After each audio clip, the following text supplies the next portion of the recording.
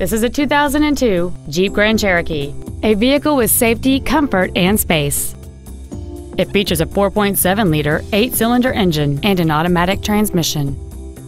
Its top features include cruise control, a rear window defroster, a Sentry key theft deterrent system, roof rails, halogen headlights, an anti-lock braking system, driver and passenger multi-stage airbags, child safety seat anchors, and folding rear seats.